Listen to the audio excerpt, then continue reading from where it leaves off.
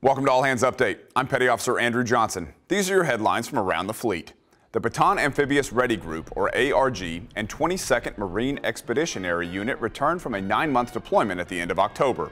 During the deployment, the Bataan ARG conducted maritime security operations, theater security cooperation, and provided a forward naval presence in the U.S. 5th and 6th Fleet areas of operation. Canadian, Japanese, and U.S. ships completed a two-week-long task group exercise, or TGEX, October 31st off the coast of Southern California.